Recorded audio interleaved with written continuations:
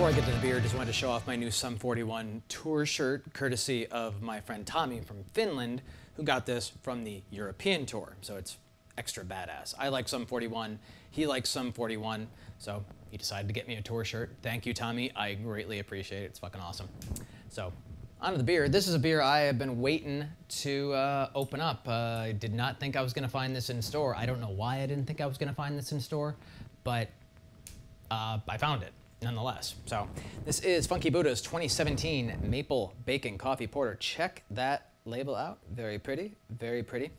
Surprisingly, low ABV. I'm so used to these special yearly release kind of things, especially when it comes to porters and stouts, being a higher ABV. This one is 6.4% ABV. I am not going to complain about that. So described here, ale with coffee, maple syrup, and natural flavors added. Um, I'll read the splash on the side here too. Evoking a complete diner-style breakfast in a glass. I miss diner-style breakfasts. Oh, eh, Florida just doesn't have them right. Uh, Jersey, oh, so good. Maple Bacon Coffee Porter is chock full of sticky maple syrup, fresh roasted coffee, and the smoky, salty bite of bacon. Luxuriously creamy with layers of sweet malt, toffee, and roast giving way to waves of smoke and salted chocolate, this ebony porter finishes sticky and rich with maple syrup lingering pleasantly on the tongue.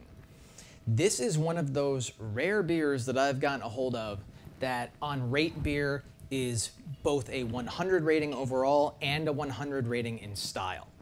So I have high hopes for this one. Oh my God, it smells like maple syrup right off the hop there. Oh, I can only imagine how it's gonna waft into my nose out of the bottle like this. Wow. Oh, it, damn. Like, It, it smells like breakfast. It smells that whether whether you're going for French toast or pancakes or waffles, whatever you have your syrup on, that's that's that aroma I'm getting here, which is fantastic. I think I'm picking up a hint of the smokiness in there too from the bacon, but that probably comes a lot more in the taste. Oh my God.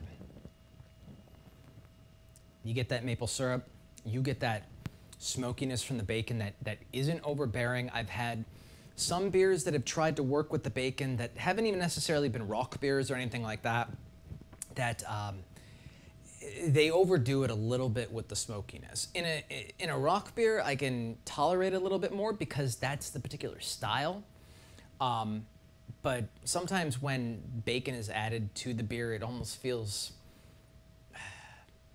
there's there's an artificiality to it that the smokiness just is too much and it, it, doesn't work naturally with the beer. This one though is the perfect level, the perfect level of sweetness. It's not too heavy feeling a beer. The ABV is perfect. God damn. Oh. Now I'm disappointed I only have one bottle of this, but it's a $20 bottle. So um, I don't know, if I bought too many of these, my wife would probably kill me. I actually did buy another one of these, but to have muled up to uh, Jersey for my uh, former neighbor up there, Gene, which uh, if he's watching this, he's already gotten the bottle by now because I'm shooting this, uh, let's see, I'm shooting this the weekend my uh, mother-in-law and father-in-law are heading back up to Jersey to bring that uh, bottle to him. So, but I think this is gonna air, what, late April, something like that. I, I, I, can't keep track of this anymore. I got so stacked up with this, thinking that work and everything. Well, I'm, I'm, I'm, I'm diverging from the topic at hand. This amazing, amazing beer. God, the aroma just keeps getting better. The sweetness doesn't disappear.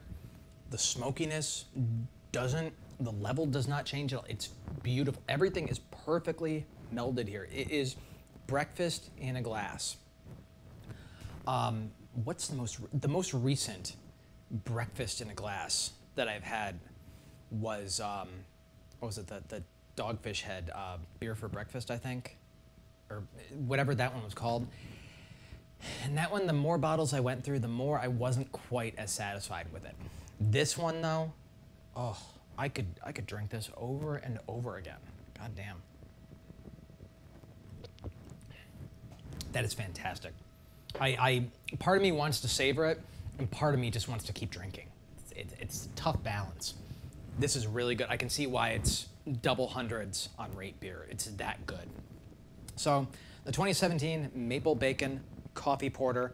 I wish I had beers to trade because at the store I got this at, one of the employees has, I think she said a 2014 of this. If I had something worthwhile to trade for it that I didn't want to drink myself, I would be all over that. But 2017 Funky Buddha Maple Bacon Coffee Porter, 6.4% ABV. If you find this, pick it up. You will not be sorry. With that, I will see you for the next review.